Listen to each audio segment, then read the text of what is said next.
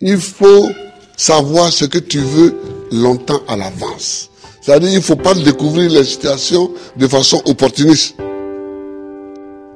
faut savoir ce que tu veux être, ce que tu veux faire. Et tu te traces ta ligne de conduite.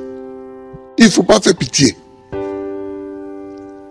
Il ne faut pas faire pitié. Quand tu passes, il faut qu'on dise que voilà un homme qui passe. C'est tout ce que nous cherchons aujourd'hui, c'est notre combat. Moi que si, je ne passe pas les vacances en Europe, mais est-ce que je ne suis pas président? Je suis président. Il faut faire son travail. Il faut avoir foi en ce qu'on fait. Moi, j'ai une foi en l'Afrique. C'est tout. Et je fais ce qui me semble bon l'Afrique.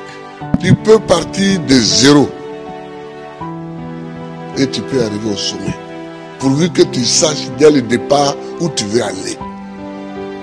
Et que tu prennes les moyens pour arriver où tu veux arriver. J'ai dit souvent à mes collaborateurs que celui qui veut être riche, ne faut pas qu'il vienne faire la politique. Si quelqu'un fait la politique et qu'il devient riche, c'est qu'il est voleur. La politique n'est pas là pour enrichir les gens.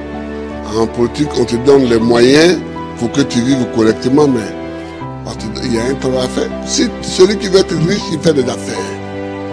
Il ne devient pas professeur, il ne devient pas journaliste, il ne devient pas caméraman, il ne devient pas homme politique. Ce n'est pas des métiers où on devient riche.